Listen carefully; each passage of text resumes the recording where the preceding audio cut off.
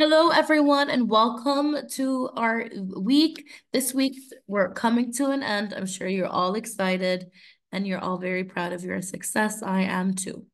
Okay, so we're going to start off the week with the difference between migration and push and pull factors.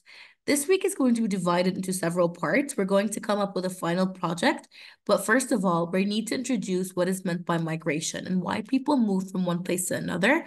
What are the push and pull factors.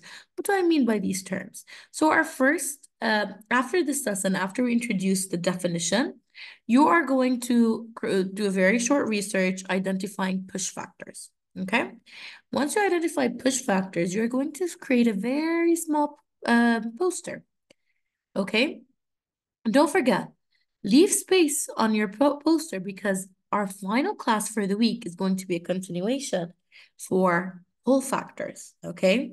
So discuss what are pull factors and you need to provide examples of why people uh, would like to migrate towards a country. Why would they want to move, for example, from Jordan to the United States or vice versa? Why would some people want to leave the United States to come to Jordan? Ask yourself the following questions and relate it to the unit of when we discuss the difference between developed and developing countries. Obviously, this takes a huge, this shows a huge part in why people migrate to and away from a place. Okay, I hope you enjoy this week. It's a very simple week as we're coming to an end and prepare yourself. We're almost there for the revision class.